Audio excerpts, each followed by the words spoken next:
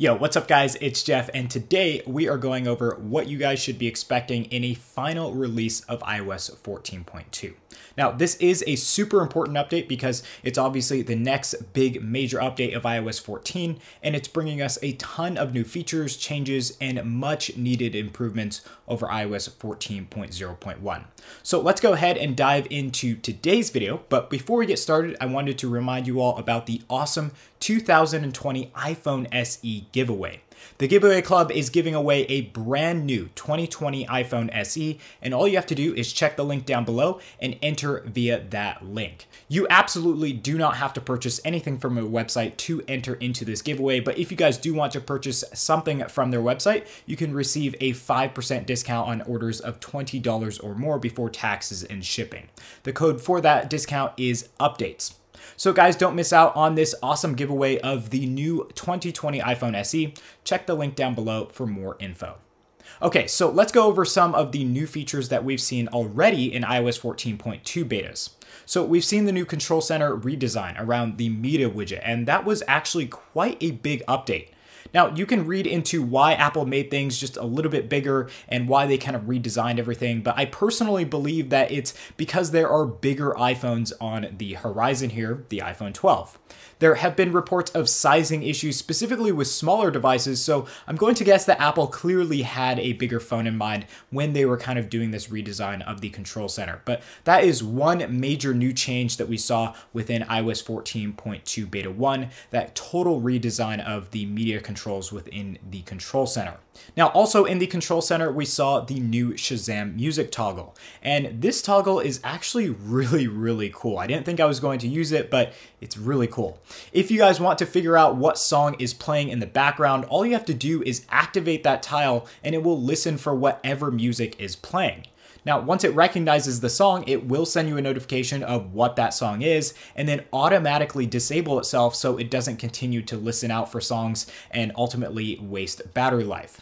Now, at first, as I said, I thought this was kind of unnecessary as a feature, but I actually used it a few times, and it's definitely something that maybe we didn't ask for specifically, but might need when we are in search of new music.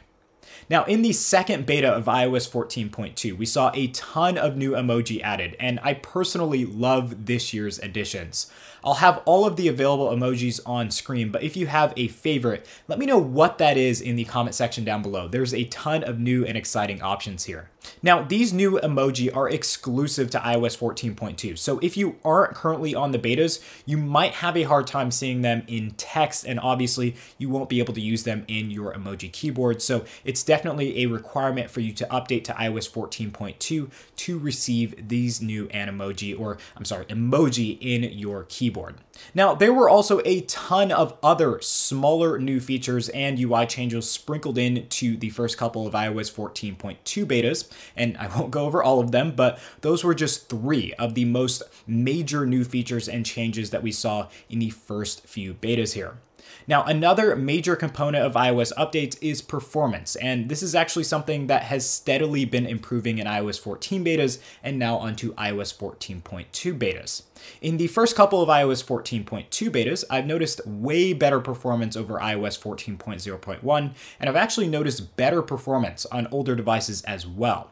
So my iPhone 7 Plus and also my iPhone 6s are both running way better on iOS 14.2 betas versus iOS 14.0.1, and they also seem to be a little bit more efficient as well. So as far as performance goes, iOS 14.2 is definitely bringing improvements, and I think that over iOS 14.0.1, users are really going to have a good experience when it comes to having faster phones through an iOS update. On the other hand, the biggest thing that Apple needs to worry about is battery life. Battery life has been consistently an issue, I think solely because of the new widget feature in iOS 14. Now, obviously, there are other factors as well, but it's proven that widgets are now eating up most of a user's battery because they update so much in the background. Now, Apple is working on a fix for improving battery life, specifically with this new feature, but so far I haven't seen anything major as far as improvements go in iOS 14.2. So with that being said, should you hold off on updating when the official release comes out for iOS 14.2? Well, if you are already on iOS 14 or iOS 14.0.1, there's not going to be worse battery life, it's just not going to get any better. So really, there's nothing to lose here via an update, just the extra features, changes, and some better performance on the table when you go to iOS 14.2. So guys, those were some of the new features and changes in iOS 14.2, and we also went over the better performance you should be seeing when the official version comes out. Now, do keep in mind at the time of filming this video, battery life is still an issue, but as I said before, it won't make things worse. There's just not a fix yet for that battery draining widget feature. Now, if you guys do want to hop on to the betas right now to check out all of the new features and changes, there is both a developer and public beta available right now. So I'll have links down to both in the video description down below. Just be aware that there are still some bugs and UI glitches in the betas right now, but those should be worked out when we come closer to a final release. Now, speaking of final releases, we should see the official release of iOS 14.2 pretty soon.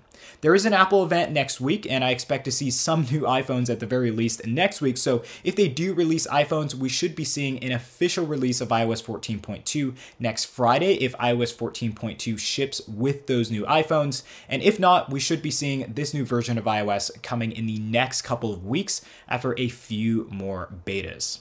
But anyways, guys, that was a short preview of iOS 14.2 and what you can expect from this new version of iOS. But if you want to stay up to date with all of the future updates and the exciting iPhone 12 release next week, definitely get subscribed and also hit that bell button as well to stay up to date with all of the latest and greatest. If you guys have any questions about today's video or any other questions, you can of course leave those in the comment section down below. I'll be sure to get back to you guys ASAP. Also, some more things to check out is my Twitter, where you can tweet me at Jeff Updated. And we also have the new updated podcast, where episodes are released every single Friday. I think right now we're on episode four, so go check that out in the video description down below.